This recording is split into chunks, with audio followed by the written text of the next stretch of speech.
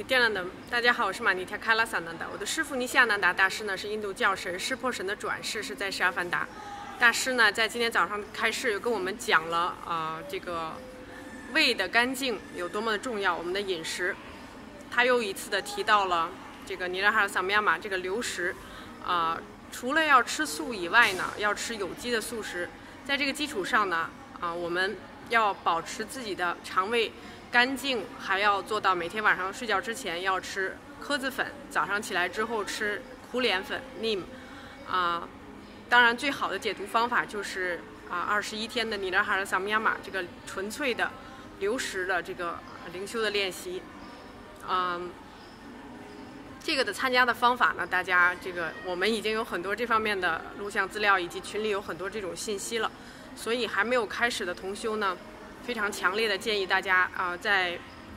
啊未来的时间吧，一定要给自己这样的一个机会，让自己加入。当然，现在我们群里的啊所有的啊这个我们桑嘎的工作人员，绝大多数都在参加这个二十一天的净化的项目，其中呢流食就是其中的一个非常重要的一项。啊，大师曾经在他的圆满的这方面的开示中讲过，就是我们的。业力呢，储存储它储藏的这个深度也是不一样的，有一些呢是叫做肌肉记忆，有一些叫生物记忆，嗯，就是生物记忆呢是储藏比较深层的，肌肉记忆可能就是你啊在肌肉中的你的行为、你的这个言行举止这方面的一些模式，它是可以啊比较容易修改的，但是到了生物啊记忆这个深度呢，它就成为你的深度的认知的问题了。啊，然后呢，饮食的模式呢，就是我们和食物之间的关系，其实很多时候是和啊我们人生很多其他的方面的这些生物记忆是有直接的关系的。比如说，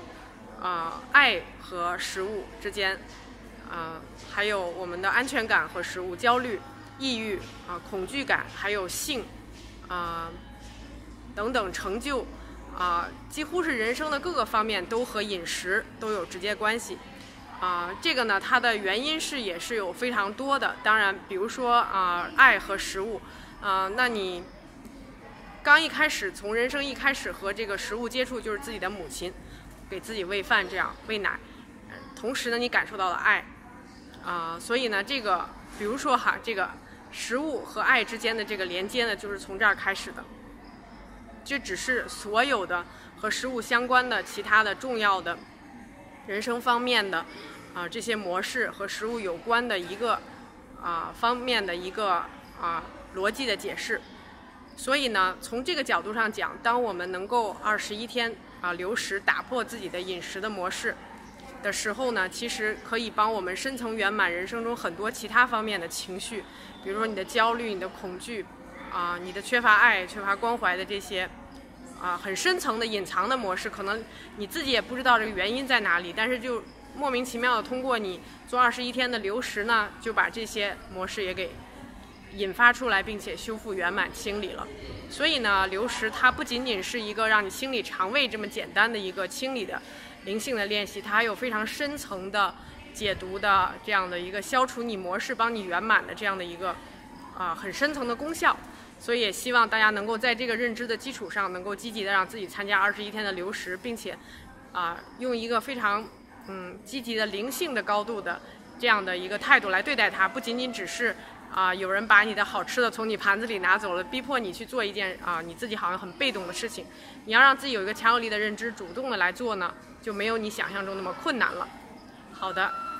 希望越来越多的朋友呢，能够用这些强烈的灵性的练习来帮助自己圆满。我们最终的目的呢，就是要达到最终极的圆满。